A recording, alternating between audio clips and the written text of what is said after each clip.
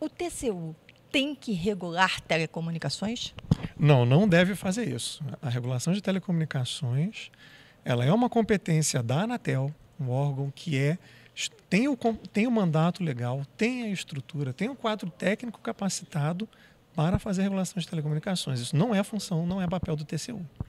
Mas a Anatel reclama da ingerência. Quer dizer, aqui houve apresentação aqui no seminário da BIDTIC, onde o conselheiro Otávio Rodrigues deixou claro que incomoda a ingerência, é, que há uma série de, de órgãos fazendo a ingerência, a TCU, CGU, e que não há uma hierarquia.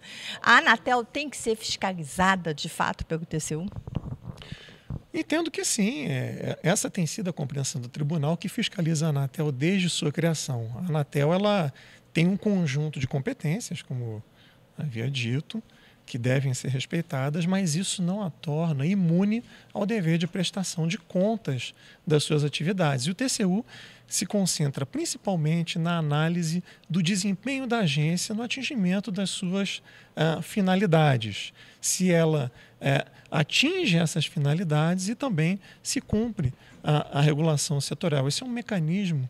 Uh, de verificação, inclusive, é, é, de mitigação de riscos, é, por exemplo, de, de captura ou de decisões que não estejam é, embasadas de acordo com a legislação setorial. Mas isso não transforma o TCU no regulador, ele não toma a decisão do que deve ser regulado. Ele apenas busca é, a, garantir que a prestação de contas da, da Anatel seja devidamente feita, que ela é, dê transparência aos seus processos decisórios, que ela fundamente tecnicamente as suas decisões, mas jamais é, o TCU irá dizer qual é a opção regulatória a ser adotada no setor de telecomunicações.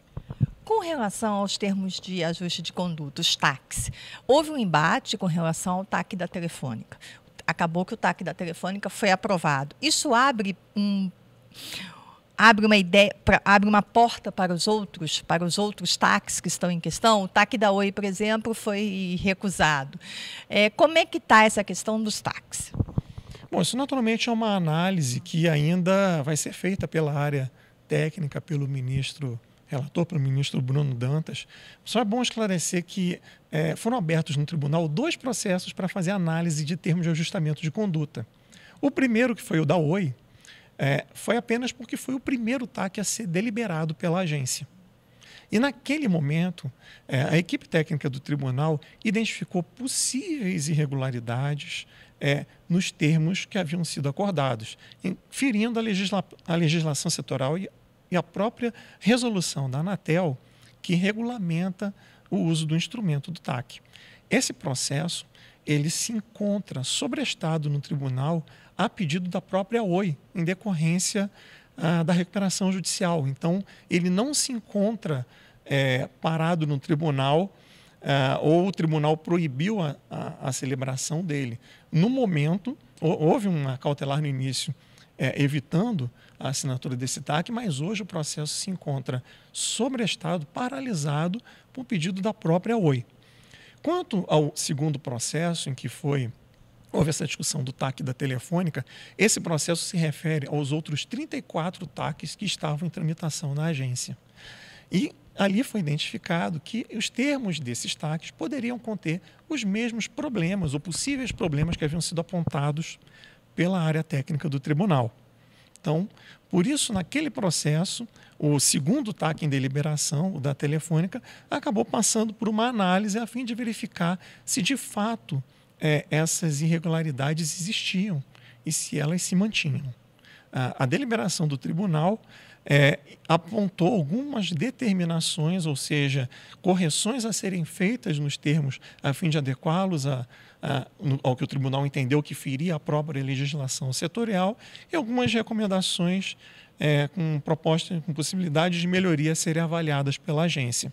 Quanto aos demais é, termos, é, isso é uma análise que vai precisar ainda ser feita pelo tribunal, se eles irão é, atender a essas determinações corretivas, se as recomendações feitas serão ou não implementadas, ah, mas não há, a princípio, uma obrigação de que cada ataque seja analisado detalhadamente pelo tribunal. Não há é, essa não, não há uma obrigação o processo também não se trata disso, de realizar uma análise detalhada em cada um dos 34 TACs, mas a fim de garantir que os termos de forma geral eh, não firam a própria regulamentação feita pela Anatel.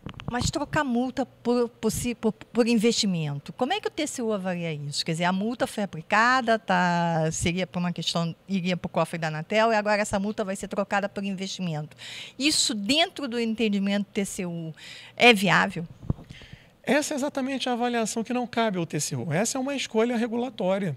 É, a própria forma como a agência estrutura o seu sistema de fiscalização e sanção é uma escolha da agência. O tribunal poderia, no máximo, é, como já fez no passado, é, sugerir é, ou identificar oportunidades de melhoria na aplicação de um ou outro instrumento.